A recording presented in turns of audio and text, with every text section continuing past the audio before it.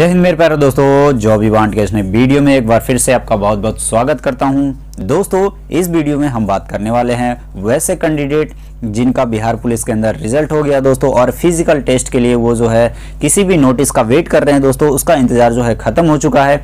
आपका यहाँ पर फ़िज़िकल टेस्ट का डेट जो है वो जारी हो चुका है दोस्तों, और यहाँ पर ऑफिशियल नोटिफिकेशन आप यहाँ पर देख सकते हैं। ये आपका central selection board of constable का ये ऑफिशियल वेबसाइट है। दोस्तों जो वीडियो के डिस्क्रिप्शन में आपको देखने को मिल जाएगा। वहाँ पर सबसे फ़र्स्ट में आप बिहार पुलिस का ये ऑप्शन है। सबसे फ़र्स्ट में देख सकते हैं दोस्तों 22 तारीख का इसका आप, आपका नोटिस जो है जारी कर दिया गया है। इस पर जब आप क्लिक करेंगे दोस्तों तो आपका नोटिस जो है जारी हो चुका है। आप डाउनलोड कर सकते हैं। वीडियो के डिस्क्रिप्शन में टेलीग्राम चैनल का लिंक मिलेगा दोस्तों। वहाँ पर आपको नोटिस मिलेगा। वहाँ से आप डायरेक्ट डाउनलोड करके जो है देख सकते हैं। ऑफिशियल वेबसाइट का लिंक भी आपको वहीं मिलेगा दोस्तों। वहाँ पर से आप डायरेक्ट खुद इस ऑफिशियल वेबसाइट पर आकर नोटिस को डाउनलोड कर सकते हैं। दोस्तों, वीडियो स्टार्ट करें उससे पहले बता दूँ, चैनल पर नए हैं तो चैनल को ज़रूर सब्सक्राइब करके बेल आइकन प्रेस कर लीजिए और वीडियो के अंत तक बने रहिए दोस्तों, ताकि आपको एक एक नोटिस का एक एक निचोड़ आपको पता चल जाए और आप समझ जाए दोस्तों, बिना समय गवाए हम चलते हैं वीडियो में आगे की ओर।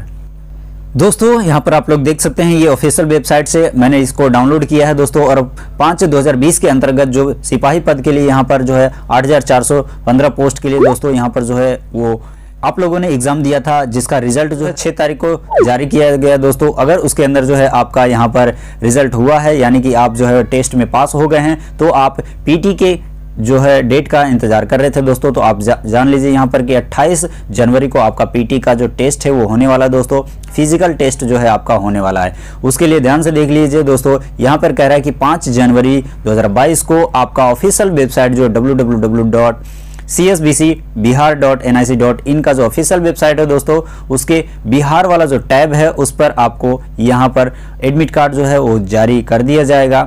वैसे कैंडिडेट जो किसी भी कारणवश एडमिट कार्ड नहीं डाउनलोड कर पाते हैं, यहाँ पर आप लोग देख सकते हैं, वैसे कैंडिडेट जो किसी भी कारणवश अपना एडमिट कार्ड डाउनलोड नहीं करवाते हैं ई प्रवेश पत्र नहीं डाउनलोड कर पाते हैं, वे 24 तारीख और 25 तारीख के बीच में उनको खुद जो है वहाँ पर पटना सचिवालय हाट के निकट जो है वो इसका कार्यालय जो है दोस्तों वहाँ पर 10 बजे जाकर खुद अपने ही खर्च पर ये जो है एडमिट कार्ड आपको लाना होगा। यहाँ पर साफ़ साफ़ आप देख सकते हैं कि कोई भी ये इसमें डाक द्वारा भेजे जाने की कोई भी सुविधा नहीं है। वो उसके लिए दोस्तों यहाँ पर अभ्यर्थी खुद रिस्पॉन्सिबल होगा। यहाँ पर आप जो है देख सकते हैं दोस्तों।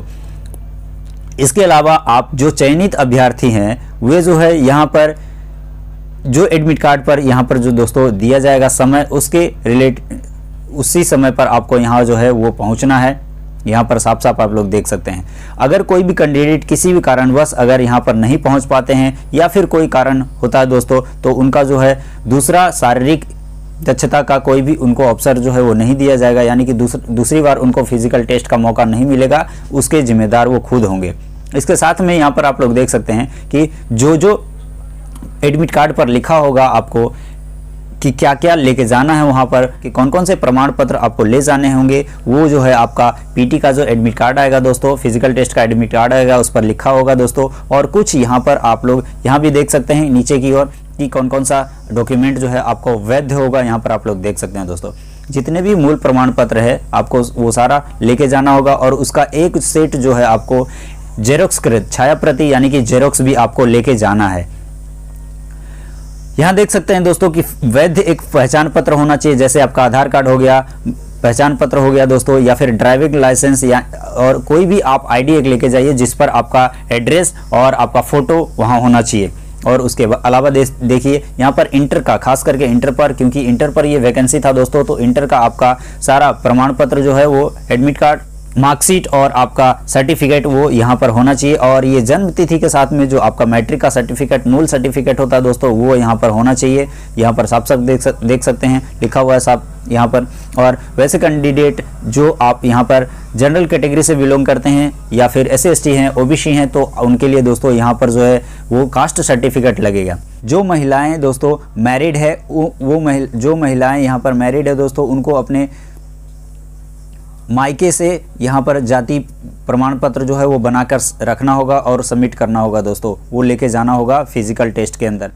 यहाँ पर आप लोग देख सकते हैं कि बिहार राज्य के स्थायी प्रमाण पत्र का जो वो आपको लेके जाना होगा, जिसको आप लोग जो दोस्तों आवास बोलते हैं, आवासीय प्रमाण पत्र भी आपका यहाँ पर जो है वो लगने वाला है। अगर आप गृह रक्षक है दोस्तों तो आप यहाँ पर जो है उसका प्रमाण पत्र भी आपके पास होगा तो वो भी आप यहाँ पर शामिल जो है कर सकते हैं, लगा सकते हैं। अगर मूल, गोरखा मूल के हैं, अगर आप तो वो भी लगा सकते हैं यहाँ पर। या फिर बिहार सैन्य के अंदर जो है आपने किसी भी प्रकार का सेवा दिया है, कोई भी बटालियन के अंदर तो आप, आपके पास जो प्रमाण पत्र है वो आप यहाँ पर लगा सकते हैं, उसको अंदर आपको छूट जो है वो मिलेगा।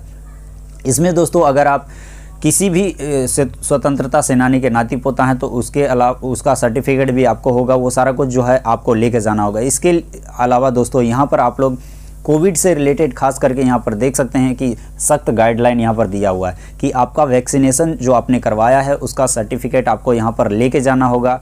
इसके अलावा देख सकते हैं यहाँ पर कि जिन अभ्यर्थी जिन अभ्यर्थी को कोरोना के लक्षण जो है वो थोड़ा बहुत भी पाया जाएगा, उनको यहाँ पर जो है वो फ़िज़िकल टेस्ट देने की अनुमति नहीं दी जाएगी। यहाँ पर साफ़ साफ़ आप लोग देख सकते हैं कि वैसे कैंडिडेट जिनको कोरोना संक्रमण के लक्षण होंगे, उनको यहाँ पर अनुमति जो है वो नहीं दिया जाएगा। इसके अलावा आप लोग देख सकते हैं दोस्तों कि यहाँ पर जाने के साथ साथ आप जो है अपना मास्क लगा कर जाएँगे प्रॉपर तरीके से बाहर और हैंड सैनिटाइज़र एक लेके जाएँगे दोस्तों, अपना खाना पी खाने पीने का जो चीज़ है वो खुद आप अपने खुद जो है लेके जाएँगे दोस्तों और जितने भी निर्देश जो है एडमिट कार्ड पर दिए होंगे दोस्तों, उनका आपको कड़ाई से पालन करना होगा। यहाँ पर आप लोग साफ़ साफ़ साफ़ देख सकते हैं। आई होप दोस्तों ये जो जानकारी मैंने दिया आपको समझ में आए। वीडियो को ज़रूर लाइक करिए दोस्तों और वैसे कैंडिडेट जो आपका एग्ज़ाम क्लियर किए हैं, वैसे दोस्तों उनको सेंड कर दीजिए। ये मेरा रिक्वेस्ट है और वीडियो को जितना हो सकता है उतना ज़्यादा अपने दोस्तों में शेयर कर दीजिए और एक लाइक ज़रूर कर दीजिए दोस्तों। आपका एक लाइक मुझे मोटिवेट करता है इसी तरीके से वीडियो बनाने के लिए। दोस्तों, जब भी इसका एडमिट कार्ड आएगा, सबसे पहले हम इसी चैनल पर